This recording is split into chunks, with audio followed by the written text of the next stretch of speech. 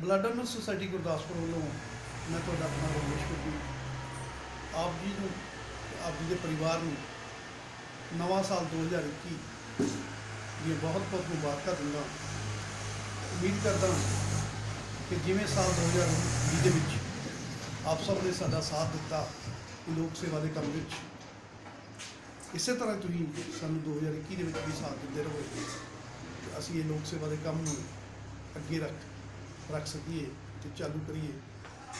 ਸੋ ਇੱਕ ਵਾਰੀ ਫਿਰ ਆਪ ਤੇ ਆਪ ਜੀ ਦੇ ਪਰਿਵਾਰ ਨੂੰ ਦੋ, ਸਾਲ 2021 ਦੇ ਆਮਦ ਤੇ ਲੱਖ ਲੱਖ ਮੁਬਾਰਕਾਂ। ਧੰਨਵਾਦ। ਸ਼ੁਕਰੀਆ। ਸਤਿ ਸ਼੍ਰੀ ਅਕਾਲ।